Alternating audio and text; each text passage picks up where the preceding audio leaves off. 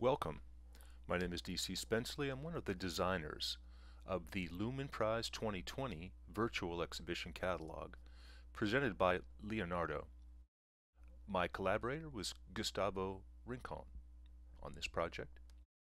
And you'll notice that in front of us we have a, a fairly typical flat 2D website. This was deliberate because we wanted to make sure that people were oriented people are fairly familiar with the web.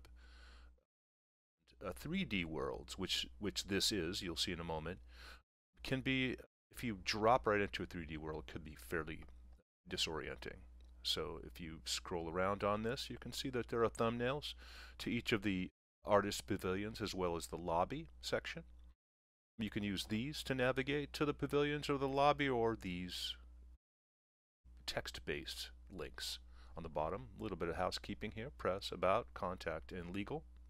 So the first thing I'm going to do is encourage you, when you go to leonardo.lumenprize.com, is to join the mailing list so we can let you know about more of these types of events. So let's go to the lobby right now. I'll click on the Lumen Prize lobby. I'll just click right there on the huge thumbnail. And you'll notice that the screen is black in the background you can see through it and see that there's something going on there. Uh, but let me just call your attention to this this section right here that gives you navigation aids. It tells you about the WASD keys, which most gamers will be familiar with, and you can also use the arrow keys. If you want to turn down the experience a little bit, I recommend you turn it down a little bit and make sure your system sound is turned on. You can also take a screenshot with the handy dandy screenshot button and also navigate to any of the other pavilions. Also, I want to call your attention to the chat function. You can chat here, and in order for me to change my username, I can change my username to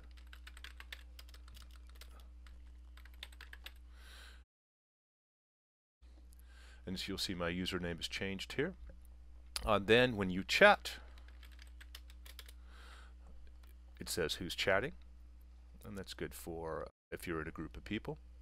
So what I'll do now is I will click, and here it says, always says escape to exit. So if you want to get back to this screen, just hit escape. So I'll click anywhere outside of these areas in the black area, and we'll drop down into the experience.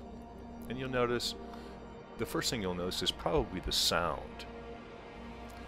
Uh, the expanse and, and we've tried to create a an interesting environment that does not compete with the amazing artists that we're calling attention to that the, the Lumen Prize has been awarded to in in 2020. So if you walk up to this area, this calls a little bit of attention here. On the left-hand side, you'll see these are some tips and tricks on how to move around and how to best enjoy this environment. Introducing things like the walk through the hex gates, if you'll notice behind us. These hexagons contain spheres, we call these hex gates, and those will transport you to various pavilions. Or, if you want to navigate, you can click the navigation kiosk, which we call the popsicle. And we're going to do a little bit of both of those. And here's a, a few more tips and tricks, just kind of explaining some of the finer details. So the first thing we're going to do is walk over here and visit Liliana Farber's exhibit. And what you do is you walk straight through this and you teleport or transport to the exhibit, to the pavilion, artist pavilion. And so uh, I'll just click in the background. We'll drop down here and look at the ramp up to the Liliana Farber exhibit. I like to point out that behind you, though, in case you want to navigate out of here go to another artist pavilion, you can do that there. And you can also, uh, we've reiterated our tips and tricks here just to make sure that if you're lost, that you have some guide. So we've arranged these uh, into hexagonal pavilions for a lot of reasons. One in particular is there are more walls in an hexagonal pavilion. And we wanted to be able to hang a lot of artwork here. So we're looking at Liliana Farber and f- let's go to the about the artist. And this the left hand, you'll see this is a pattern in this in, in this effort. The left hand hexagonal pavilion has a, uh, information about the artist, a, a, a Lumen Prize video of the artist speaking about themselves and their own work.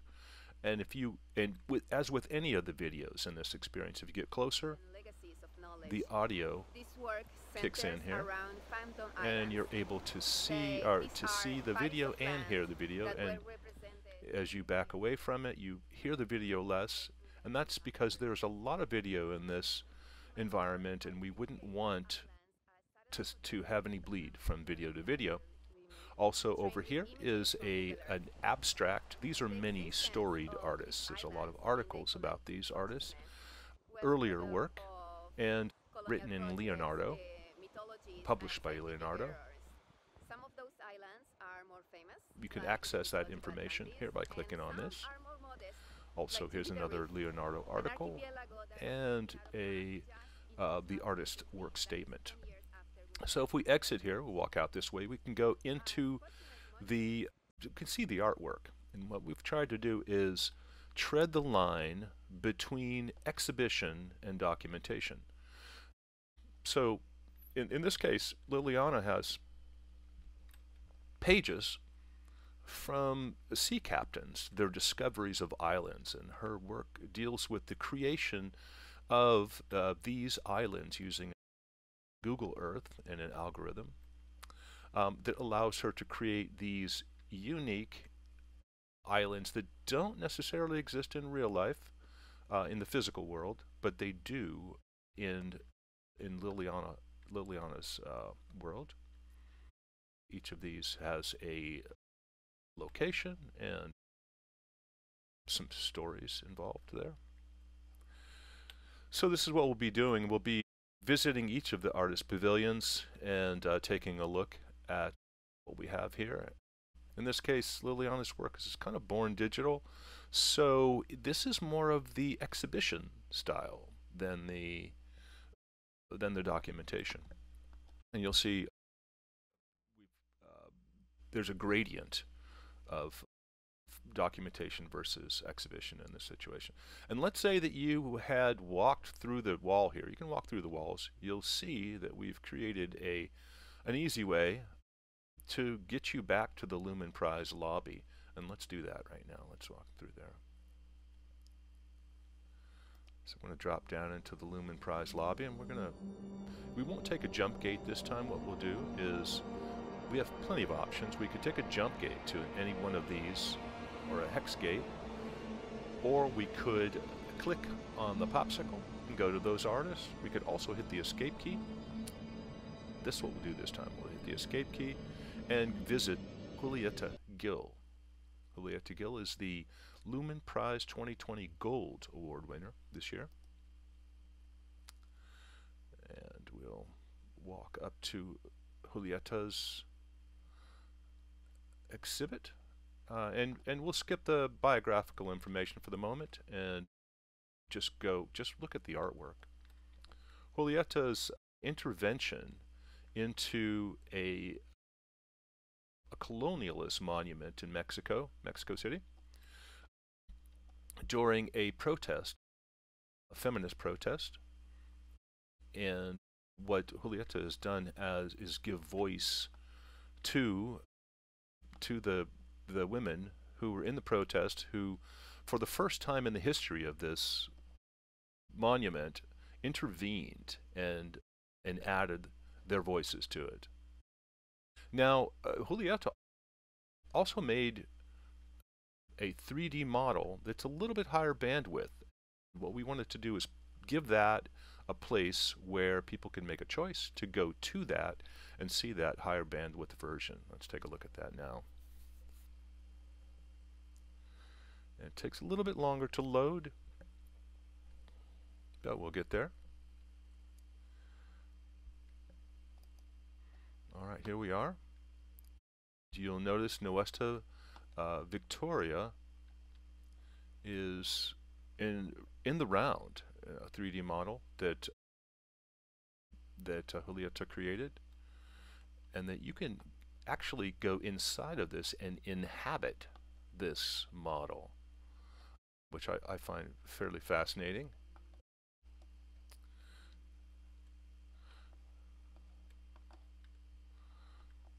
And if we want to get back to Julieta's main exhibit, we just click on this.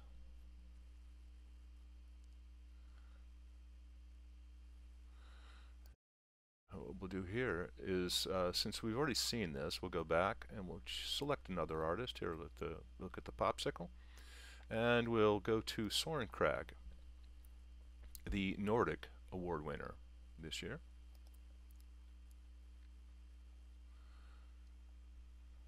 Walk up on the Soren Krag exhibit. And you'll notice in the center of this is a, a video cube of sorts that you can get inside. The audio starts up when you get close to it. This is a, a Jacquard loom. And uh, the, the Jacquard loom is one of the first things that were ever programmed with punch cards. So, and this is the Born Digital variation. So the title of this piece is uh, mille and uh, forgive my pronunciation. 2,000 flowers, and, that, and those 2,000 flowers are in these this very simple format right here. These, uh, you'll notice this is a, a gallery view of the finished product. This is actually a real tapestry.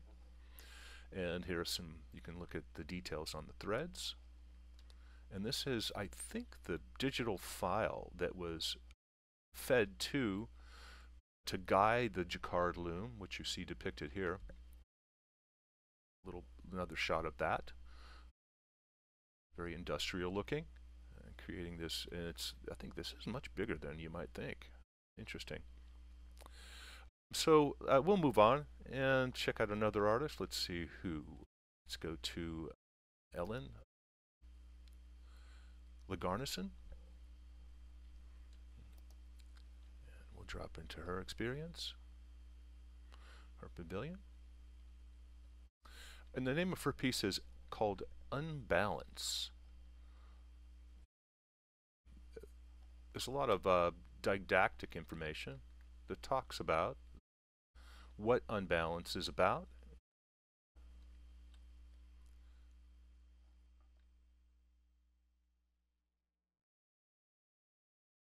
you'll notice that the dancer has a rig on with tubes in the back that have small beads or small round particles. And you can hear those when you get close to the videos. Now, also, once again, you've got the video in the round here that you can inhabit and kind of feel like you're stepping inside the experience.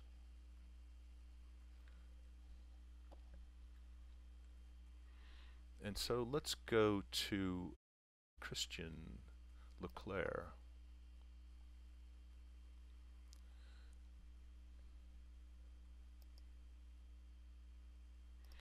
And Christian Loclair likes to be referred to as Mio. So let's check out what Mio's got going here. His piece is called Helen. My understanding is that this is an aggregate of 3D geometry of many different sculptures uh, made into one, then eventually represented in this 3D object. Now we have, this is the actual 3D object that was used in the creation of a physical sculpture. Now in order to create, to use a CNC carving device, to you need this kind of 3D geometry you feed it to the CNC device, you give it a piece of marble, and it carves it into this into this object. Beautiful marble. I'm sure there's many polishing stages in this. And just an interesting transit from the digital to the physical. Now let's go to Tupac Martir. And Torrey Studio. This is the Global South Award winner.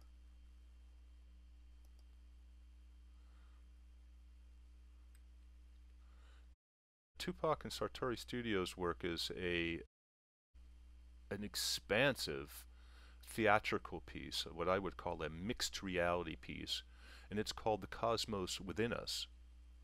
And one of the things we've done here is create these memory spheres and each of these memory spheres puts you into kind of a dreamlike state. And the soundtrack, along with these, that's actually separate from the spheres. And and another component for this, um, it was a much larger theatrical production, and they've broken off these vignettes, and you step on these on these feet that show you the kind of the ultimate place to stand to get a good audio experience here. Um, and the exit the experience, there's also an information button here. You roll over it, and there's a little more helpful information. Tells you to move in, etc.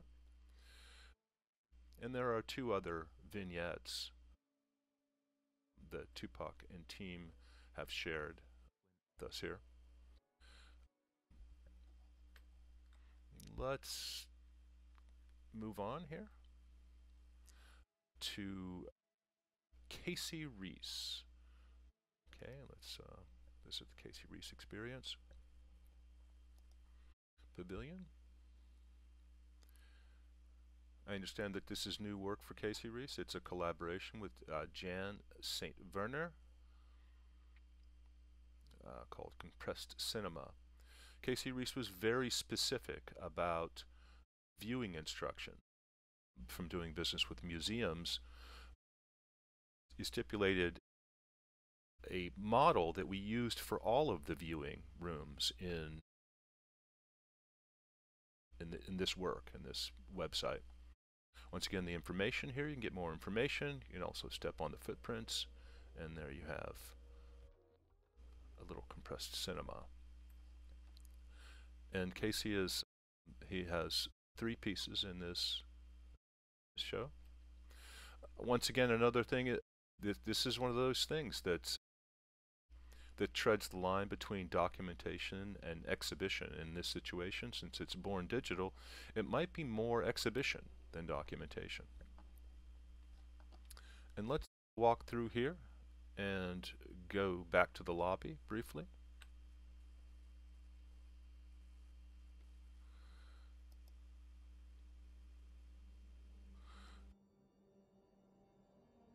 The popsicle and visit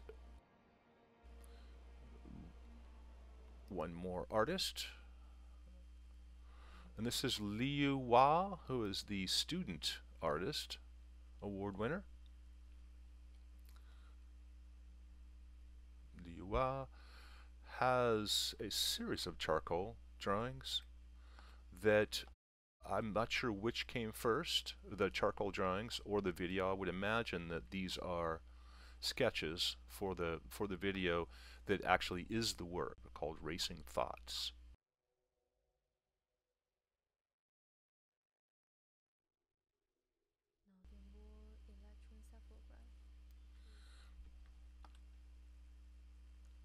Oh, here's somebody. In the experience. Nice. And now we're going to move on to Richard Wiggin, who is in no particular order here. Richard Wiggin won the Interactive Prize this year.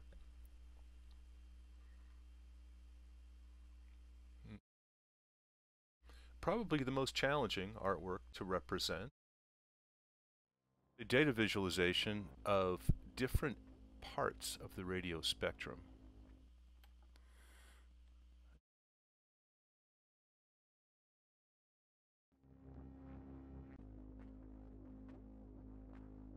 came up with the idea to have the viewer walk through different spectra. And here we are, the maritime application spectra is 23 or 239.99 megahertz. Radar's 342 megahertz. Digital television 517.8 megahertz, and so on. And this gives the the viewer an idea, um, along with the soundtrack,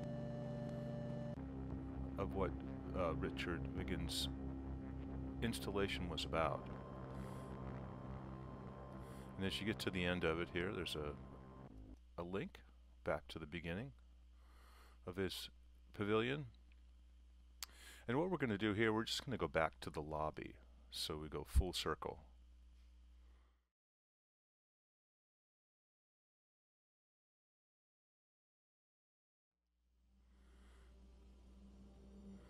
And so thank you so much and come visit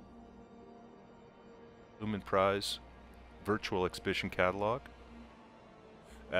leonardo.lumenprize.com. Once again, my name is DC Spensley.